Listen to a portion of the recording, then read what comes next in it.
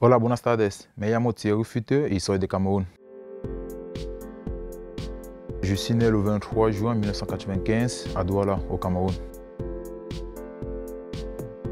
Je faisais du foot et bon voilà. Et, ben, sauf qu'au foot au Cameroun, bon, tout le monde veut jouer au foot au Cameroun pour que Samuel Eto'o.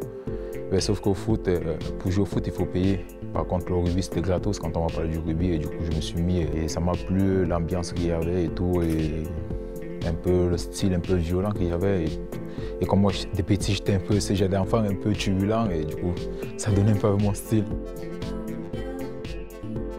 Me performer et apprendre pour pouvoir jouer pour la sélection camerounaise, puisque tous les joueurs camerounais jouaient en France, top 14, Pro D2. On, a des exemples de Charlie Wancho, de Chungong, tous ces joueurs.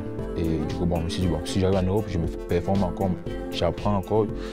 C'est peut-être facile pour moi de jouer en sélection du Cameroun, mais sauf que les choses ont tourné autrement. Et je me suis vu entre les jeux pour la sélection espagnole. je suis content, c'est une bonne expérience.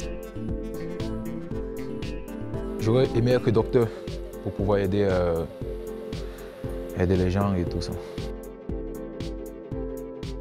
C'était le match de 6 nations contre l'Allemagne. C'était un truc à 33, 12 ou 10, un truc comme ça, je ne me rappelle plus trop bien. Au début, j'étais un peu frustré, j'avais peur. C'était quand même mon premier match international, encore de 6 nations. Et j'avais tous les yeux sur moi. C'est ce petit Africain qui joue pour l'Espagne, on va voir de quoi il est capable. Ben, je suis quand même allé visiter euh, la Tour Eiffel et le musée de Louvre.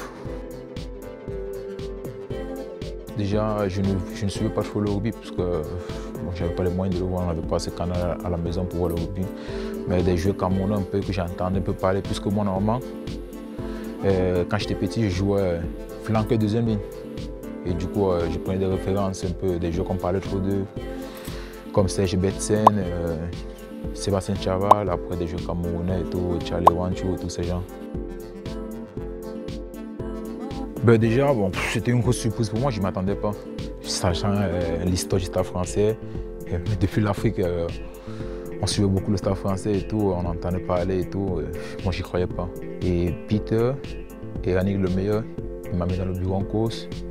Il me demande quels sont mes objectifs comme sportif, quels sont mes projets.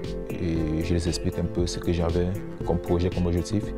Et ils me disent, il se la tête, il dit ça, c'est les jeux qu'on recherche.